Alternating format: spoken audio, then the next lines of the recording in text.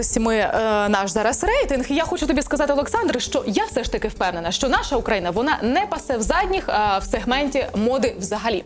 По-перше, наші вишиванки знають в усьому світі. Їх носять зірки. В нас була гостя нещодавно Юлія Магдич, яка про це нам розповідала. А також наша текстильна промисловість вона ж починає відроджуватись і має дуже великі перспективи. В цьому я впевнена. Ти абсолютно права, говорячи про промисловість, тому що навіть зараз уже у Харкові відкриють текстильний хаб. Уявляєш? І зараз у нас в нашій студії з тобою поспілкується ініціатор цього текстильного хабу. До речі, нещодавно вона повернулася з Індії, де підписала е, контракти, документи з колегами по текстилю. Відповідно, я думаю, тобі буде Хто про це? що Ти знаєш, поспілкуватися. Ну звісно, це Голда Виноградська. Зустрічай. О, боже, бо я ж в її одягу сьогодні. Залюбки з нею порозмовляю Клас. і дізнаюсь дуже багато про тканини. Голда Виноградська, радник міністра освіти і науки України, закінчила Львівський політехнічний інститут за спеціальністю економіка та управління в паливно-енергетичному комплексі та інституцію мистецтв та дизайну імені Сільвадора Далі за спеціальністю дизайнер одягу та аксесуарів. Була засновником та віцпрезидентом холдингової інженерно-виробничої компанії у галузі енергетики у 2011 році. Очолила конференцію дизайнерів та стилістів України. Одна із засновниць музею історії моди України. Колекції Голда продаються в Японії, Китаї, Кувейті, Саудівській Аравії, Об'єднаних Арабських Еміратах, Канаді та інших. У 2014 році створила проект Fashion Globus Ukraine – об'єднання українських дизайнерів на засадах патріотизму, волонтерства і маркетингового підходу в продажу колекцій українських дизайнерів. Пані Голда, доброго ранку. дуже рада ранку. вас бачити. Я Навзаєм. у вашому вбранні, що мені е, дуже приємно. Дякую. А в нас спочатку перше таке лайтове питаннячко. Розкажіть, будь ласка, про ранок, який вам запам'ятався найбільше у вашому житті. Е, Враховуючи, що я тут не в перший раз сижу в тому креслі е, і відповідаю на це запитання. І я вам хочу сказати, що мені здається, що звичайно в кожної людини є якийсь такий момент, який є для нього поворотним. Мені здається, людина, яка прокидається, вона роз, має розуміти, що кожен ранок може бути мати якийсь новий відлік для людини. Це відчуття якихось нових планів, це відчуття перемоги від попереднього Так. дня. Тому е, для мене, якби це пафосне не було, це кожен раз ти прокидаєшся і думаєш, по-перше, е, дякувати Богу, що я прокинулася, що я здорова, що в мене є там все, що є необхідне для щастя. А це означає, що кожен ранок, якщо він з такими думками, він може бути щасливий і якісь такі, знаєте, надавати сили. Бо з чим ти прокидаєшся, з тим ти йдеш далі на протязі дня, ну і взагалі по життю. Ви знаєте, це, це чудово взагалі риса і такий принцип життя, щоб е, прокидатися і поглядати на цей новий день, як це нова можливість. Тому що небагато таких людей. Ми в основному прокидаємося як ой, це ранок. Навряд чи ранок буває добрим. Тому це чудово так дійсно відноситися. Тому я бажаю всім людям, щоб життя. ранок їх насправді він наповнювався такими життєрадісними, яким відчуттям того, що що б там не було вчора, ти сьогодні можеш це змінити. На цій позитивній ноті я пропоную продовжити нашу бесіду. Більше яка буде зараз стосуватися вашої професійної діяльності. Ви нещодавно були в Індії, і я так розумію, що були перемовини з представниками текстильної промисловості звідти. Розкажіть, будь ласка, докладніше, що це буде якась така співпраця із нашими текстильниками. От що це були за перемовини? і Чим Індія цікава для нашої текстильної промисловості? А, Ну, взагалі, якщо коротко, да, ви от ми вже не перший раз тут. Наше національне галузеве партнерство легкій промисловості України це бізнес-асоціація, це громадська організація, яка а ви знаєте, що в Україні немає міністерства легкої промисловості, і кожен виживає сам собі поодинці. Але як доводить практика всесвітня, коли люди об'єднуються, в них е, багато процесів за рахунок синергії стають все ж таки легше. Одне із питань, е, ви знаєте, що в Україні виробляє, на жаль, дуже мало тканини, власне, менше ніж 10% того, що нам е, потрібно. 90 ми імпортуємо, переважно це Туреччина, Китай. На жаль, дуже багато чого відбувається за рахунок контрабанди, те, що не приносить знову ж таки країні ніяких надходжень. А, Ми не можемо багато в чому експортувати офіційну продукцію, тому що сертифікати ті ж самі до Європи, якщо це не вироблена тканина в Європі чи в Україні, значить ти не, не, ну, не отримаєш цей сертифікат. Тобто а, питання тканини, воно і сировини має дуже дуже важливе значення. Саме тому наша організація розпочала таку діяльність, як активну співпрацю з різними виробниками тканин в Украї... е, в різних країнах світу. І ми дійшли до Індії. Ви знаєте, що Індія вона історично займає досить серйозну нішу у виробництві тканин. І е, чомусь, чомусь з нею особливо такої співпраці, чомусь не, не відбувалося. І коли ми з'явилися, от е, наш перший візит е, був. Е, Наша зустріч з послом. Він каже: я вже 10 років, там наш Ігор Поліга каже, 10 років я тут посол, і ніхто навіть не звертався до Ого. з таким підходом. 10 років навіть. Е, По-друге, коли ми вийшли на конфедерацію текстилю Індії, вона об'єднує понад 17 асоціацій і включає майже 150 мільйонів людей, які зайняті цій галузі. Уявіть собі. Ну, Цій всій конфедерації, да, да, да. Ну, тобто, по-перше, населення Індії це понад 1 мільярд людей. Це е, зараз поки що шоста економіка світу. Вона от якраз зараз дуже дуже конкурує е, з економікою Британії е, згідно статистичних даних. А От і е, тому ми побачили в тому велику перспективу.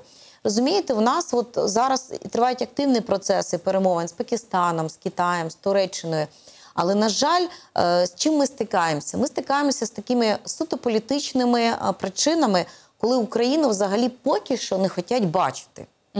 Взагалі, як партнера. Що би там не казав наш уряд, але все рівно кожен з нас в бізнесі чи в звичайному житті він торкається якихось геополітичних е, дотиків. Коли, наприклад, в Китаї на, на вищому рівні керівництва асоціації текстильним, ну, ви ж розумієте, ми не бачимо вашу стратегію розвитку. Як ви рухаєтесь, з ким ви дружите, проти кого ви дружите, що ви, куди ви збираєтесь? Ви постійно десь бігаєте, у вас немає якогось такого чіткого плану. В нашій країні на 50 років наперед все планується. І для себе ми маємо, під, е, якщо ми підтримуємо країну і Так. її бізнеси, для нас це важливо. Хоча е, з Китаєм нас наша організація підписала угоду з Шанхайською асоціацією виробників, це півтори тисячі виробниць.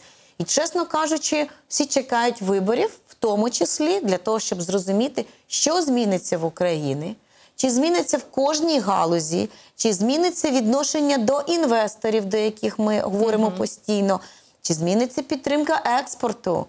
Тому а, для, для багатьох з нас це не пусті слова. Звичайно, я не хочу сьогодні говорити саме про таку болючу, на жаль, тему, але я кажу, що е, що би з нас хто не робив е, в дипломатичному плані, да, е, налагодженні відношень, Так, а, є певні моменти. І хоча відчуваєш себе абсолютно чітко, і нам кажуть, ви справжній дипломат, ви змогли для відкрити для нас.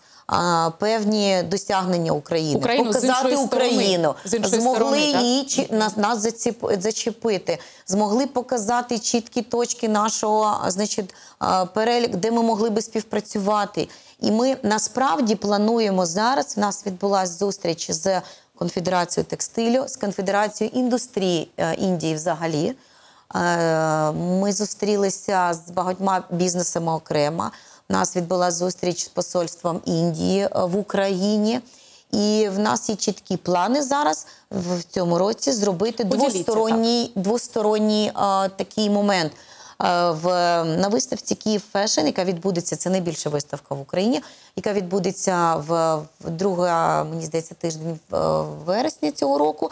Ми плануємо зробити націон... допомогти зробити національний стенд Індії вперше. А, силами різними зусиллями Федерації, агентів е, і байерів Індії, Конфедерації, е, е, уряду Індії для того, щоб показати можливості співпраці.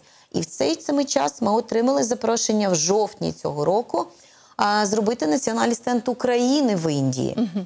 І от е, розумієте, коли А ти що це все ж таки нам дасть? Якщо так глобальніше і більш так розлогіше піти в це питання, от що саме ця співпраця з Індією нам дасть? Стенди будуть наші представлені там, е, індійські ну, окрім тут. того, а що... окрім того, що ми зможемо м, не просто там більше купувати індійські тканини, а ми зможемо а, залучити інвесторів, які могли би зробити спільне виробництво в Україні. Це перше. По-друге, Індія як країна, а, в якій знову ж таки один мільярд людей і більше ніж 70 мільйонів дуже багатих людей в світі займає шосте місце по рітейлу. Тобто для нас це могла би бути продаж нашої продукції. І хоча розумію такий певний скептиз, да, що є там і багато бідних, але повірте мені, 70 мільйонів багатих людей це дуже добрий ринок. І я хочу сказати, це не тільки вишиванки чомусь, от для багатьох це так якось дуже-дуже стереотипно і примітивно. Так. Хоча я бачила а, в компаніях індійських, які виробляють наші вишиванки за 4 долари, уявіть собі, підроб... Тобто, і вони кажуть, да, чудовий, чудовий попит. Тобто, звичайно, ми не, не зможемо зробити їм в цьому конкуренцію, але наші якісні і дуже чудові розробки дизайнерів, як конструкторів, Так. да, а, розробок наших е, технологічних, могли би точно знайти там таку певний а, попит. Знову ж таки, чи в, смі... в сміжних е, виробництвах, чи в збуті нашої готової продукції. Пані Голда, скажіть, будь ласка, але все ж таки, наприклад, наші працівники саме в цій галузі текстильної промисловості, дизайнери, вони знаходяться на такому ж рівні, як в тому ж там Індії, в той же самій, в Китаї. От як ви оцінюєте? Я розумію, що держава нас тут не підтримує. Ми всього лише менше 10% можемо виготовляти. Але якщо порівняти, Ну, і як ми кажемо з вами за кордоном? Ми з вами кажемо про виробництво тканини. А в. Україні є зараз величезна тенденція виробництва одягу. Коли е, багато європейських і не тільки європейських світових брендів починає вже давно це робить е, виробництво саме одягу за адвальницькими схемами в Україні. І саме цікаве, що е, на жаль, за рахунок того, що в нас низька заробітна плата, але завдяки тому, що ми ближче до Європи, тобто логістичне плече менше, ментально ми ближче, ми почали серйозно забирати у Китая це виробництво, тому що в них зараз мінімальна заробітна плата 900 доларів. І зараз виробляти в Китаї дорого. Тому для нас є чудова можливість зараз насправді потроху забирати на себе виробництво. А коли ще з'явиться можливість більше виробляти своєї тканини, фурнітури, тобто займати більше можливості в ланцюгу якраз Більше позицій, доданої вартості, так, а, в, і ще й пропонувати наші розробки, чим нас насправді славетні українські дизайнери. Оце для нас є величезна можливість. Тому що галузь, які зараз по наших оцінках зайняті приблизно півмільйона людей, повірте мені, це немало. І певні країни піднімались за рахунок легкої промисловості. Наприклад, е, Туреччина майже на одну третину має свій дохід саме від легкої промисловості. Ого. Там ж сама Італія, та ж сама Франція. Я не кажу, звичайно, ми не зробимо конкуренцію аграрному чи бізнесу, чи it бізнесу, чи а, важкій промисловості. Але повірте мені, з наших статистичних 0, кома там скільки-то циферок, то, що ми зараз маємо валового національного продукту, ми могли би займати точно до 7%. І мені здається, це дуже перспективно. На жаль, поки що уряд цього наш не чує, але я е, щиро вірю в те, що досягнення саме українського бізнесу, української громадськості, позиції людей, які самі не чекаючи а, чуда від там Міністерства закордонних Так, справ, так. економіки, самі їздять, домовляються, роблять, приносять ці контракти, вони виведуть нас на такий серйозний рівень розвитку. Пані Голда, національне галузеве партнерство текстильної промисловості України Fashion Globus Ukraine. Розкажіть, будь ласка, про основні його завдання і його успіхи. Ну, це досить молода бізнес-асоціація. Нам тільки 4 роки. Е, У нас є представництво в п'яти містах України, де найбільш розвинута легка промисловість. Це Одеса, це Хмельницький, Львів, Харків, Київ. І е, от що саме цікаве, що от ті підприємства, які розуміють, що треба об'єднуватися в пошуках е, збуту, е, в пошуках е, сировини, в пошуках реформування взагалі виробництв. Е, Я би серед основних досягнень все ж таки назвала створення нами експортної платформи в Польщі.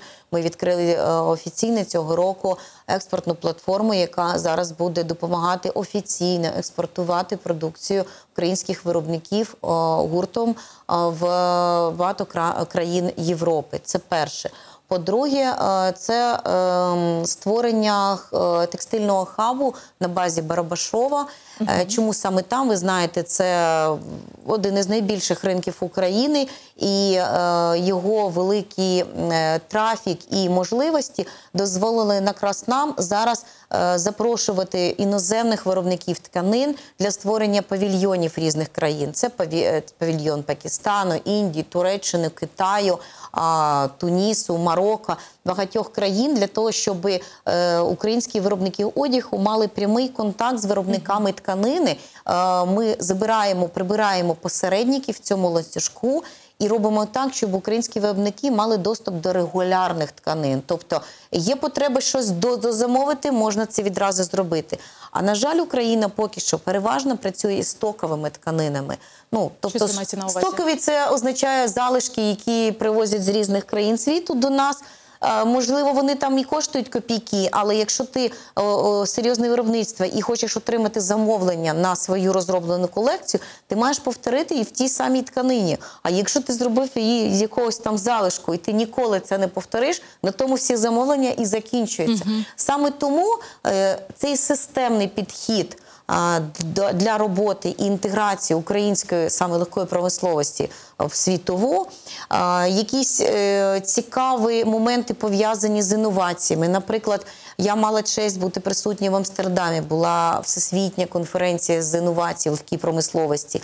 І ми зараз в користуючись нагодою, якщо можна скажу, 22 квітня проводили на базі торгово-промислової палати форум, перший інноваційний форум технологій в легкій промисловості. Ми запрошуємо спікерів якраз з Лондона, з Франції, а, з різних країн, з Індії, які дозволять розповісти українським виробникам, що саме змінюється, бо ми маємо розуміти в певний момент, бо буде багато чого замінено роботизацією. І ми маємо бути в тренді. Ми не можемо сидіти і чекати, Так. що там було за часів раніше. Тому от такі досягнення, коли треба тримати руку на пульсі, що відбувається в світі, де є Україна, вона має точно бути серед тих країн, а не десь а, в- окремо, щоб про неї ніхто не чув, не знав. Мені здається, це ті важливі місії, які ми поки що виконуємо. Зрозуміло, пані Голда, і також е, останнє питання стосовно текстильного хабу в Харкові. Які саме компоненти міжнародного центру моди в хабі?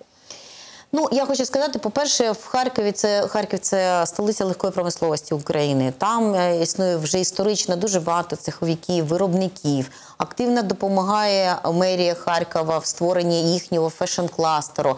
У нас не передбачається ніяка конкуренція. Це навпаки інтеграція. В них є зараз об'єднання дизайнерів, виробників, освітні якісь процеси. В нас це буде постачання сировини і експортна платформа, яка дозволить всі ці досягнення експортувати далі. Тому мені здається, це знову ж таки провівши легку аналогію з політикою. Треба знаходити точки дотику, як об'єднатись, а не казати ми краще чи ви краще. І саме при такій позиції, при такій психології виграють всі. Дуже вам дякую за цю розмову і будемо сподіватися. І взагалі я рада, що ви така позитивна. Ви вірите в те, що текстильна промисловість вона все ж таки буде процвітати. Ви знаходите шляхи, ідеї, об'єднання. Дуже вам дякую. За людина це. не вірить, вона не може рухатись далі. Так. То я щиро вірю в те, що Україна має знайти своє таке, знаєте, місто під сонцем в тому світі, якого вона заслуговує. І завдяки таким людям, як ви, я впевнена, що вона його знайде. Дуже вам Дякую дякую, вам. і ще чекаємо вас в нашій програмі. Дякую.